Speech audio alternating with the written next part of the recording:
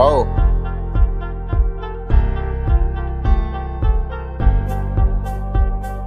Hold on. Are you, are you talking?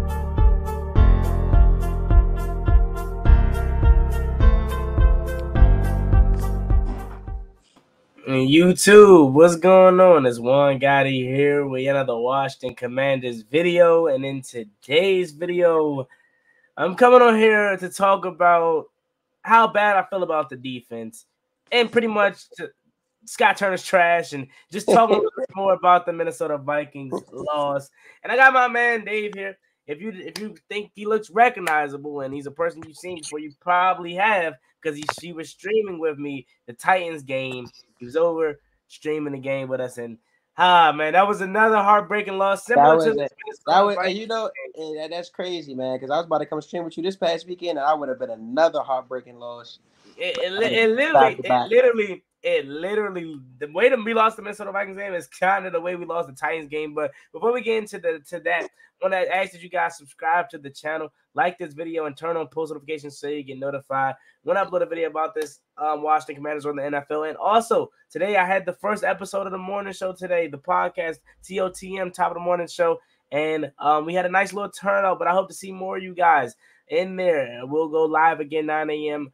Wednesday for the morning show for the second episode. And if you don't happen to catch it live, don't worry because it's up on podcasting platforms. The first episode that we did today is up there now. Just type in top of the morning, hosted by Juan Gotti on Apple Podcasts or on Spotify. So hope to see you guys checking that out. And the links are down below in the description. With that out the way now, let's get back into the video. So again, oh yeah, don't forget to subscribe to my man Dave's channel. I don't know when he's gonna start back up, but Uh, It'll start nah, back I, up I'll eventually. be back up very soon. Trust and believe that. Trust and believe Yeah, that. Very soon. but- But I want to talk about all right, the, the the Minnesota Vikings game. Okay, we both we both we both feel bad for the defense. Okay, because the Absolutely. defense played well enough to win. Like They, Kendall, I think they played great. Not that they played great. I, They- they- well, I- like, wouldn't we the first team to hold the Vikings to seven points in three quarters all season? Or am I I'm pretty I'm pretty sure we have because again that that offense was high powered. Um, you know, obviously putting up a lot of points, and the fact that we held them to seven points at the halftime was really good. I mean, everybody on that defense performed well, and it all got spoiled because of the offense's ability to not score or the lack of thereof. And a lot has to do with the guy that's in the title, and that is Scott Turner. Scott Turner's horrible, man. He's the worst play caller I've ever seen. Like, how can you have the, how Really, can you though. fumble having these weapons? Like, you got Terry McLaurin, Curtis Samuel, Antonio Gibson, Brian Robinson, all the weapons on this team. All the you Logan Thomas. Armani Rogers. You have all the weapons in the world, Scott Turner. That John Bates. I, I gotta give Bates as a weapon. I mean, he's. uh, I mean, if- even they gave John. I don't know if you remember this, but they gave John Bates a screen. I don't know why they didn't run out there, Monty Rogers. Monty, Monty Rogers got way more yards than John Bates. You know what I'm saying? I don't. I don't get why they giving John Bates screens. He's literally slow. You know what I'm saying? But that's just Scott Turner right there. That's why I see his personnel. He's. I don't know. He's weird, man. Scott Turner's a weird individual. Yeah, and then like Armani Rogers is more athletic. I mean, he literally showed that on the end Yeah. gave him. Um, and it's not even that. Like, I'm tired of screenplays with this offensive line because this offensive line clearly can't get out of space. they- yes. They're not athletic enough to move. So obviously the screen game isn't going to work, whether you throw it to a tight end or a running back.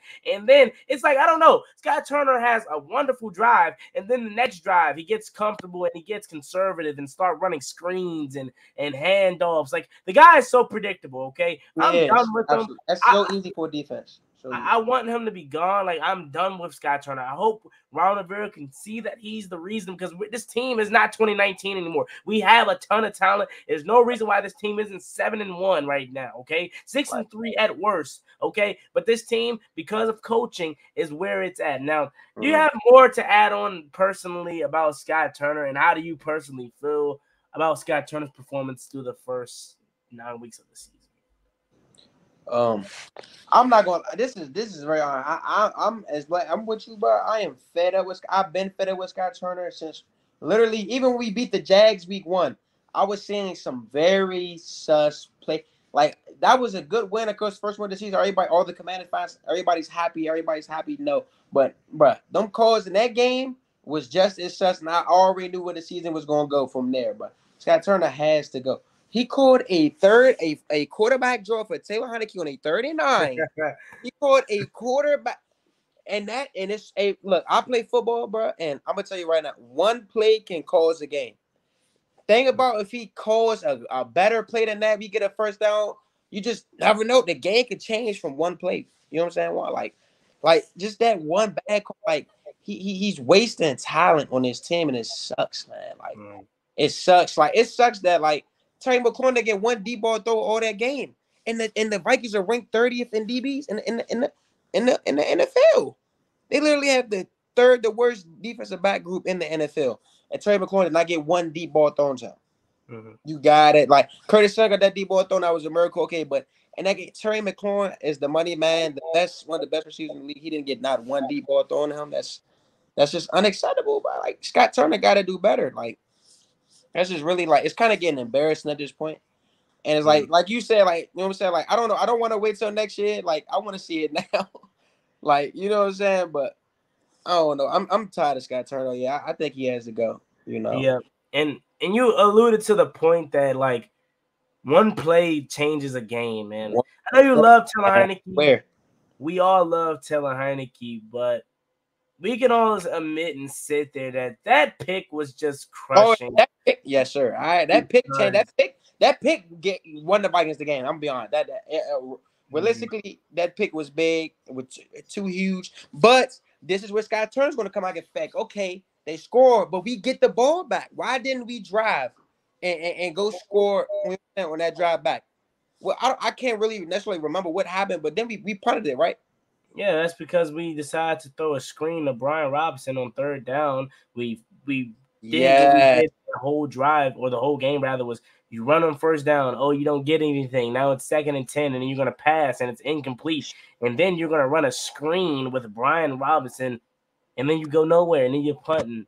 Okay, so yeah, Scott Turner again still affecting the game, but we gotta admit that like Taylor Heinicke's fun to watch, but he's no one's long term answer at quarterback. Like we need nah. a quarterback. Neither is Carson Wentz at this at this point.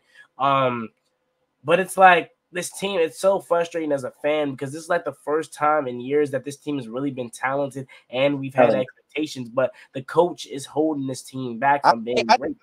I, even Ron Rivera, man, you know, like okay, like even with Heinicke, man, but like I, it's just like even with Ron Rivera in the timeouts, man, like the Vikings have all like it's no way you're down to one timeout. You lost both of your timeouts to literally, literally nothing. You you lost the challenge then you caught a timeout for fourth down that you called a horrible play on. Scott Turner called a horrible play on, and you didn't get one yard. That's embarrassing for a coach who said that's literally embarrassing. And his time management management skills suck, bro. Like it's literally embarrassing. Like I didn't play high school football, even college football. No, I didn't see coaches with better time management skills than Ron Rivera. He's an NFL head coach, bro. That is embarrassing, bro.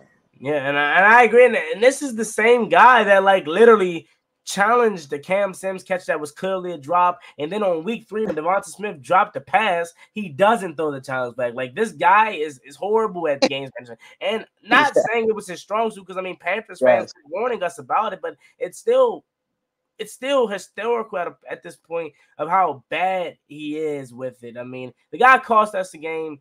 Um, mm. Scott Turner cost us the game, and then obviously John Ridgeway with the back crushing play um, where he didn't even have to do that because, dude, you weren't going to block that kick. Yes, exactly. You chill. Like, you weren't going to block it. He was. He was not getting no. But how do you not teach?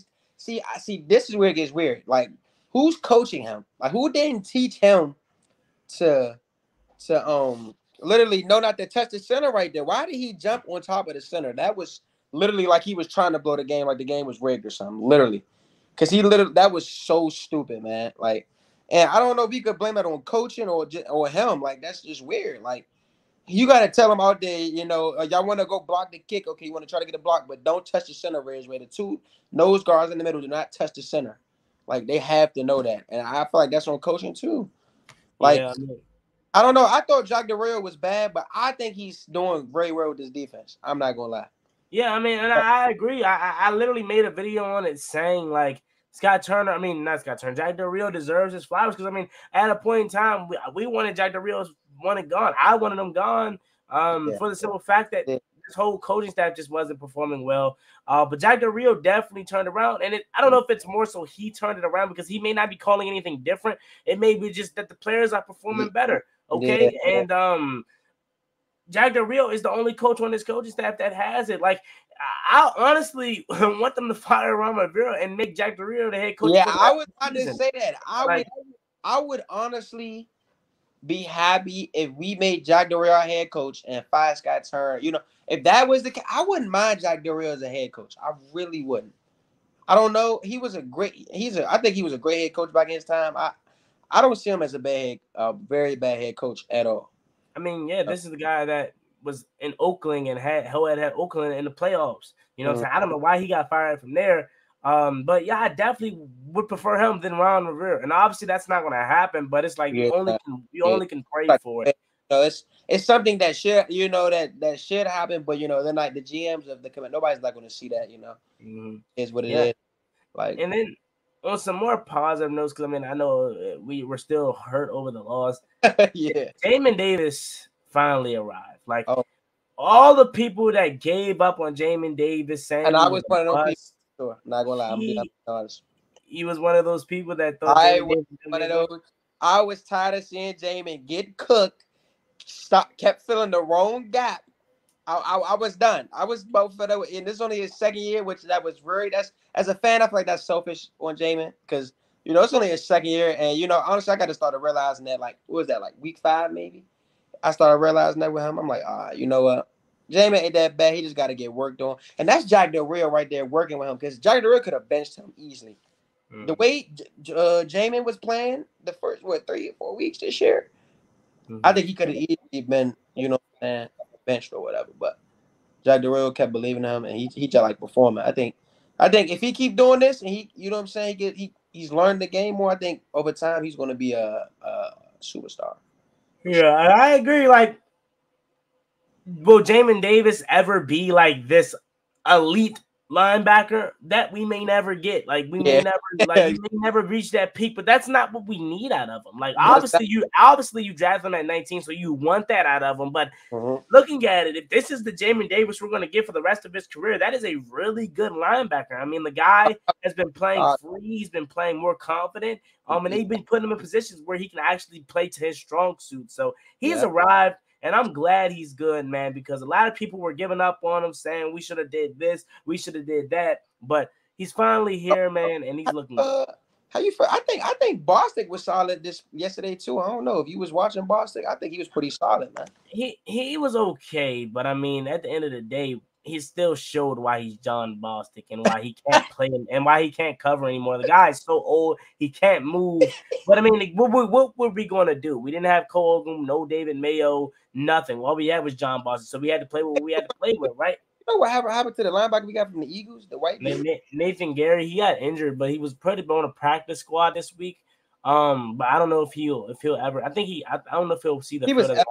I could probably put him on the practice squad. I, I think we just brought him back on it, and I think he was maybe on special teams, or that's what we probably want to bring him back for. I don't see him being a li- be a being a back a linebacker, but yeah, um, defenses it played well, and they've been playing well since week basically week three, second half.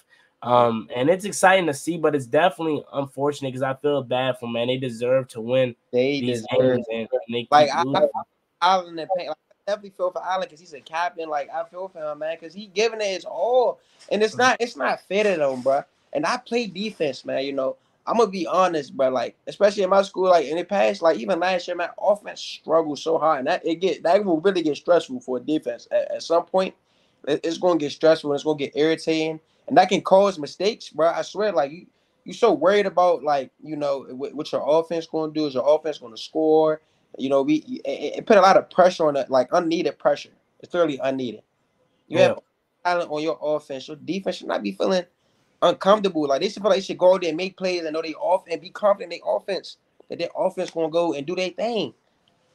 And you know, I don't know what they thinking, but if it was me, I wouldn't be thinking that. You know, because Scott Yeah. Turner, he's just getting very, it's getting very frustrating.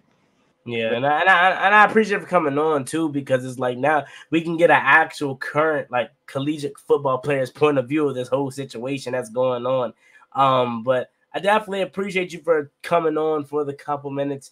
Um, I just wanted to bring you on and talk a little bit about this game. Now it's time to put a bow on it and talk a little bit more later, you know, in a week about the ownership and you know moving on to the Eagles completely. So yeah, man, there you have yeah. it.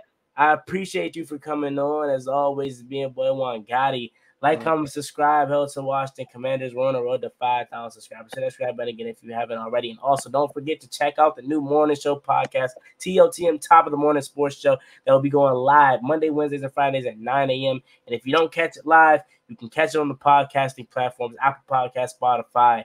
That's where you can find it. And I see you guys in the next video. Any last words that you have for the viewers out there, Dave? Let them know where they can find you. Um, uh, man, nah, nah. Only last words I got, man. Subscribe to my man Juan Gotti, man. Y'all can go also if y'all want to subscribe to me, y'all can go ahead. I'm I'm kind of a content creator. I was some time ago, but you know, I got busy with football and everything, so I started posting. But I am getting back on that for sure, hundred percent. So y'all can go tune into me too if y'all want. But subscribe to my man Juan Gotti, man. Best Commander Sports Talk out here. Yes, sir. Peace. Up, cost me one time, that's gon' get you pop, get you problem, get you driving. Slide on the one where they get you boxed on. I ain't stopping till I get me an automobile. Shots in his head, ring his bell like a